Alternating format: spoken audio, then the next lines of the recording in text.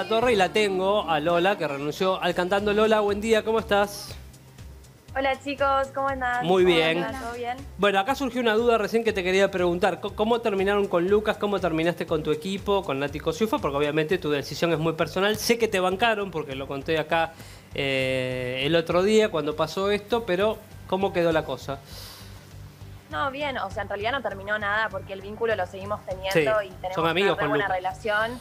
Sí, con Lucas eh, nos habíamos conocido antes del cantando y hoy, eh, o sea, nos tocó laburar juntos, pero nada, lo más, mi equipo me apoyaron en el minuto que yo salí de, de- de ahí de cantar y de todo lo que pasó. Yo después subí al camarín y ellos vinieron, como que me contuvieron y Lucas me dijo, yo hubiese hecho lo mismo que vos, como que es muy difícil quizás bancarte todo esto. Y, y bueno, súper bien, o sea, seguimos en contacto, vamos a tomar un asadito pronto, así que súper bien. Estoy muy Inviten a Nacha. que siga, o sea, está... ¿Qué? Inviten a Nacha al asado. Sí, obvio. Escúchame, ¿viste Eh, Lola la, la explicación de Nacha que dio sobre lo del caso perdido? Lo que dijo el viernes. Sí, sí la vi, pero nada, o sea, yo ya di mi decisión y di mis motivos y mis justificaciones. Sé que en el momento que me lo dijo no se refirió a una relación, porque si no hubiese dicho nuestra relación es un caso perdido y se refirió a mí, pero la verdad es que no quiero hablar más de ella porque no sé, no la conozco, no me gusta hablar de gente que... La arregló no en el idea, camino entonces, la frase. No, te lo pregunto ¿Qué? porque eso fue lo que te hizo renunciar. Eh, la arregló en, en los días que pasaron, digo, cambió lo del caso Claro, perdido sí. a lo que dijo Sí, después o sea, el yo viernes. pienso que sí. Total. eh, o sea, yo entendí clarísimo, fue muy clara el momento que me dijo, eh, eh, yo no hablo con gente que es un caso perdido, y me lo dijo a mí puntualmente. No dijo, nuestra relación es un caso perdido, y aparte, qué sé yo, me decís, hola, ¿qué tal? ¿Cómo estás? ¿Entendés? No. Te molestó que no te pido que te y me digas, hola Lolita, te extrañé mucho, como le dijo a Lucas, qué bueno verte, qué bueno que volviste. No te pido un saludo cordial, aunque no te caiga bien una persona. Yo soy muy respetuosa y a todas las personas que quizás no conozco, no me caen tan bien, es hola, ¿cómo estás? ¿Entendés? y, y bueno, me pareció como un poco falta de respeto y más cuando no me conoce re- referirse a mí de esa manera. Entonces ya está, como que puse un límite porque de, de verdad no me aguantaba más. Ahora, Fue lo como que la yo le pregunto, el vaso, sí, a, a todos los participantes, se lo pregunté a Alex Canigia cuando vino acá también, que renunció por, por Oscar Mediavilla. ¿Vale la pena renunciar a un concurso donde te gusta estar, donde la pasás bien, por un jurado? Porque no era que tenían, en los dos Los casos, cuatro.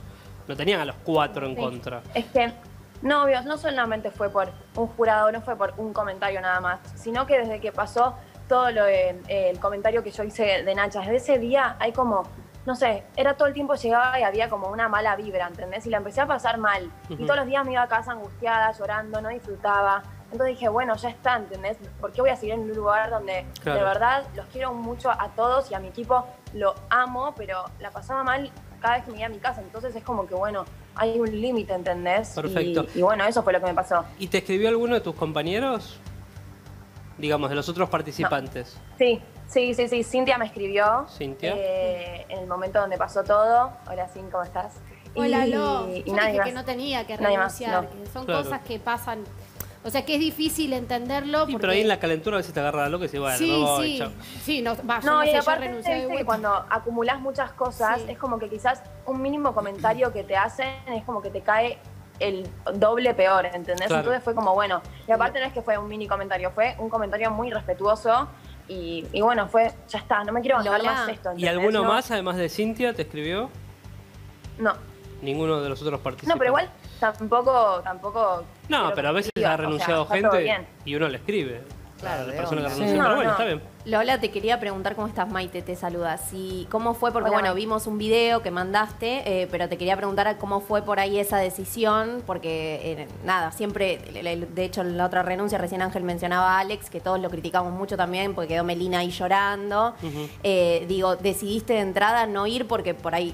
eh, ir ahí a decir directamente la renuncia eh, o hablaste con la producción y te dijeron, bueno, manda un video, ¿cómo, cómo fue eso? Lo primero que hice, hablé con mi equipo, obvio, Sí. cuando pasó todo esto hablé con mi equipo, hablé con mi mamá también, que la llamé apenas salí de ahí, Mm. eh, y, y todo el mundo me decía, te vas ya de ahí, o sea, real.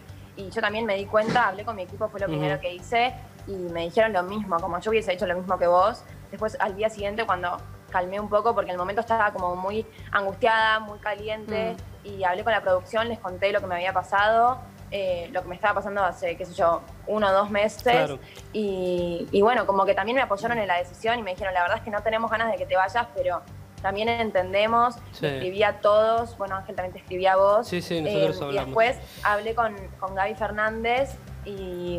Sí, sí, porque tu problema le no era "Mirá, con el cantando, sino con una persona en particular. Acá me escribe tu mamá que eh, no tiene tu teléfono, pero que Jay Mamón le escribió a Janina eh, para mandarte eh, un beso. Y de paso, Janina me comenta, mañana contará seguramente acá cuando vuelva, que Cintia no escupió al Fano.